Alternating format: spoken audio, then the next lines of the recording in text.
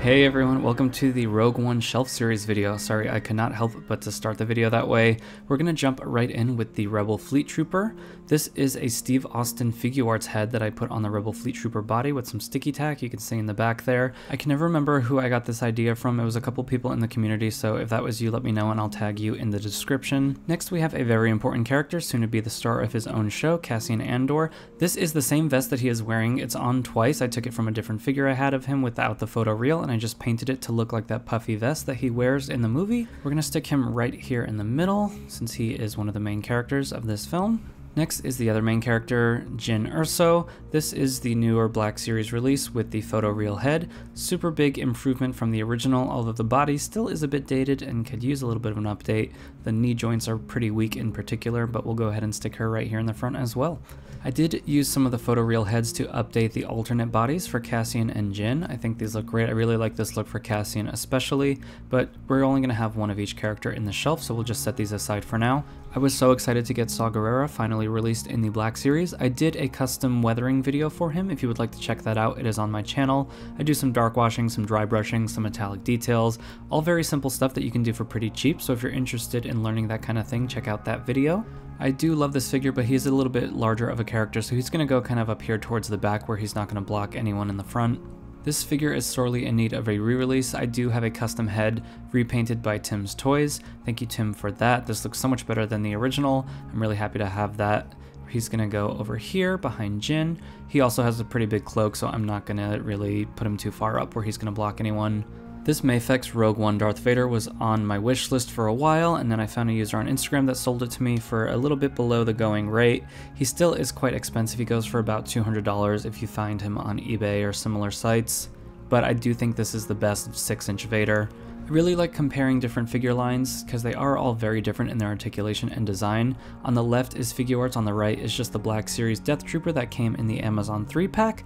I really like both of these for different reasons, so I'm going to go ahead and put both of them here. They are such an iconic part of Rogue One, and I think we all remember the first time we saw these guys in live action. The ankles on my Black Series one are a little wonky, so I'm going to do my best to keep him standing straight. Next figure was up for pre-order through Target for almost a year, if not longer. Finally started showing up and has already been clearance out. You can find him for about 12 or $13 right now at Target. That is Galen Erso. He's gonna go right here, kind of splitting the Rebel and Imperial sections. Two of the coolest characters in Rogue One are definitely Baze Malbus and Chirrut Imwe. I did do a little bit of a matte spray on these as they were pretty shiny. These obviously have the newer face print. The bodies do feel a little bit dated. They have the double jointed knees and the pins in the joints and just things that make these feel a little bit old. They are from around 2016 when the movie came out, of course, but with all of the new Black Series figures coming out with all of these advancements in the engineering and the technology, these definitely show their age just a little bit, but I'm happy to have these figures either way. Next up, we have the Jedha Patrol Trooper. This was a more recent release, which is great for anyone that had been waiting to get a Stormtrooper into the line, because you can take off all of the accessories and just have a standard Stormtrooper. I did do a little bit of weathering on this to give it that sandy texture on the armor. He's going to go right here over towards the Imperial side. Princess Leia didn't have a huge role in the film, but her cameo at the end definitely was memorable. I also just love this figure from Figure Figuarts so much that I try to get it into my shelves as often as possible, so she's gonna go right here, kind of towards Krennic. She's not Imperial, but I'll put her over here by her dad. Next we have a custom that I made a few years ago of Melshi. This is the character that we see in the Battle of Scarif. It's just a Hoth trooper, but I thought the outfit matched pretty closely, and I would like to take another crack at this sometime with some better colors and some better paintwork now that I've learned a little bit more about customizing. These K2SO figures are pretty close. The one on the left is from the Black Series and the one on the right is Figuarts. I was really curious about getting this one in the Figuarts line because I do like the cleaner paint jobs and a little bit more of a metallic finish, but overall I think the scale and the articulation and just the general feel of the one on the left. He does have one of my hexagon stands that has a back support piece for figures like him or General Grievous that kind of no matter what you do they always seem to fall over on your shelf, so that is available on my Patreon in case you're interested in adding that to your collection. Seeing Grand Moff Tarkin in Rogue One was pretty cool. I watched this movie with someone that wasn't too familiar with Star Wars, and they didn't even realize that he was CGI until I told them, so I'd count that as a pretty successful job by Lucasfilm. He's gonna go over here next to Vader and Leia. I truly think he is one of the best Black Series figures ever. I do have a custom hand on him from a Marvel Legends figure.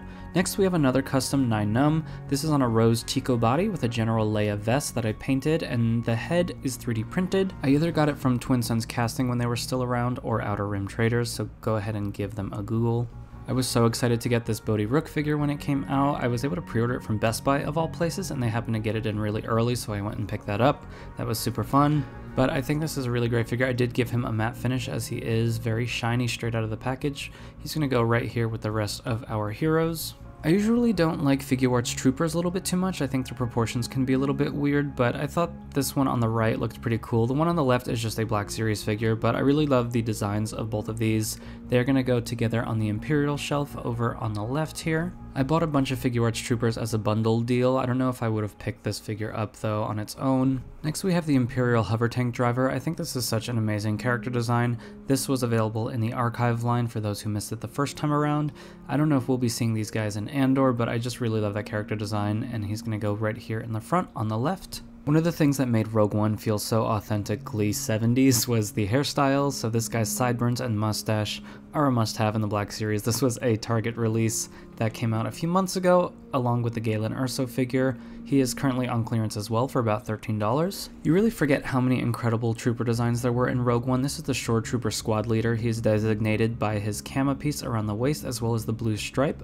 I really love the way that these look as well. And it was a treat seeing the Shore Troopers in The Mandalorian Season 2 in that scene on the Imperial base. Now we've got Mon Mothma by Fredrix Figures. I just saw this for the first time today. This outer white piece is actually from a 3.75 inch Royal Guard, but Frederick did all of the necklaces and all of that by hand, as well as all of the paint on the hair and the face. Absolutely unbelievable work. There's even pastel work on the hands, giving them a little bit more life. She's definitely going right here on the front. Completing our shelf is Admiral Raddus. This is also a custom by Fredrix Figures. The legs are from Cassian Andor and the head and the torso are 3D printed. This totally blew my mind when I saw it. It's fully articulated. He even added joints in the shoulders, even though that is like cast plaster.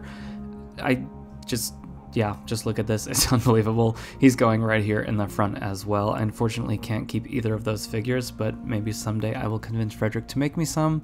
That concludes our Rogue One shelf series.